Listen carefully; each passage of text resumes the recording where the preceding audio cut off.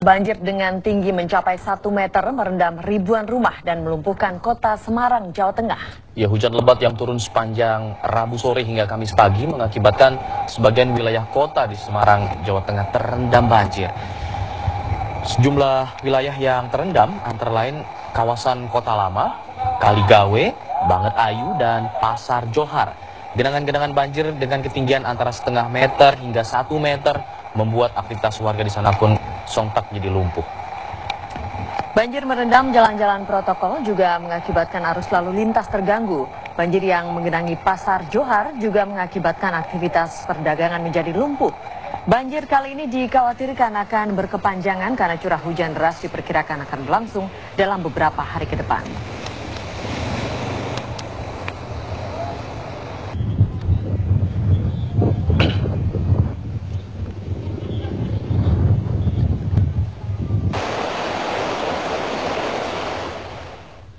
Ya, dan saat ini kita akan langsung menghubungi rekan Syamsul Arifin ya, untuk Ya. mengetahui kondisi banjir di Semarang, Jawa Tengah. Selamat siang, Syamsul. Selamat siang, Rina. Ya, Syamsul, bagaimana kondisi terkini banjir di Semarang siang hari ini? Ya, hingga siang hari ini banjir semakin meluas dan genangan semakin meninggi. Di beberapa titik eh, telah dilakukan upaya evakuasi terhadap eh, warga yang rumahnya tergenang. Antara lain di daerah Muktiarjo, Semarang Timur. Hingga saat ini tim SAR dan Badan Penanggulangan Bencana Daerah masih terus melakukan upaya eh, pertolongan kepada warga yang rumahnya kebanjiran. Iya, Samsul kalau kita lihat di layar kaca video yang dikirim ini banjir sepertinya cukup parah menimpa rumah-rumah pemukiman warga begitu sudah ada jumlah pasti terkait warga yang mengungsi ke lokasi pengungsian. Mengenai data belum ada kepastian karena hingga siang hari ini masih baru dilakukan upaya evakuasi, jadi belum bisa dibawa ke tempat-tempat pengungsian. Tapi yang jelas eh, banjir kali ini cukup besar karena hampir di seluruh titik di wilayah yang selama ini terendam hari ini ikut terendam pula, baik di kawasan Semarang Timur maupun Semarang Utara. Hmm, Cukup luas, Syamsul ya. Lalu bagaimana? Apakah ini juga mengganggu eh, kegiatan perekonomian di Semarang hingga siang hari ini? Ya, betul.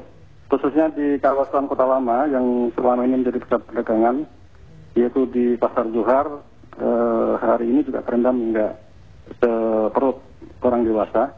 Demikian juga di eh, stasiun Poncol dan Tawang juga terendam sehingga sementara aktivitas eh, kereta menjadi terganggu. Ya Samsul kalau kita lihat di Jakarta dan daerah Jawa Barat banjir sudah terjadi hampir dua pekan. Untuk di Semarang sendiri ini sudah dari kapan banjir yang terjadi? Sebenarnya sudah berlangsung sejak tiga hari lalu, cuma eh, debit air yang dua hari sebelumnya belum begitu besar. Cuma hari ini karena curah hujan sejak kemarin sore hingga pagi ini terus hujan dan sekarang juga masih hujan lebat hingga eh, genangan semakin meluas. Gitu. Ya, Syamsul kalau Anda katakan tadi bahwa stasiun Tawang juga tergenang banjir begitu ya hingga siang hari ini. Lalu bagaimana dengan jadwal eh, keberangkatan maupun kedatangan kereta di stasiun Tawang?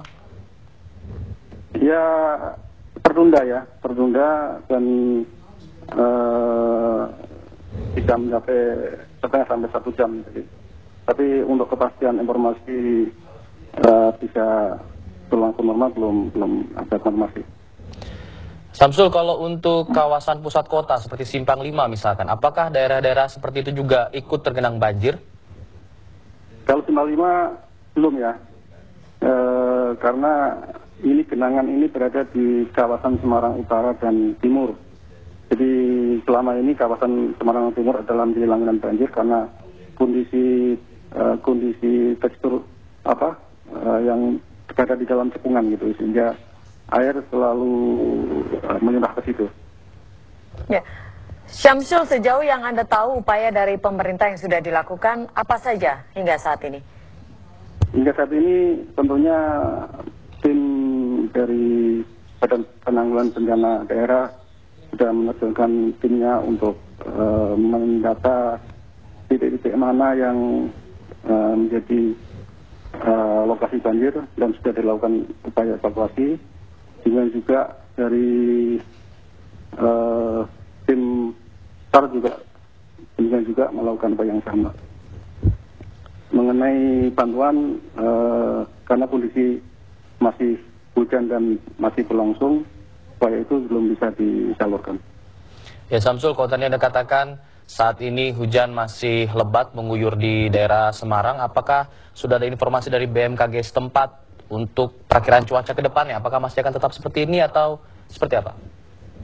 Informasi yang dapat kami peroleh, diperkirakan masih berlangsung beberapa hari ke depan ya.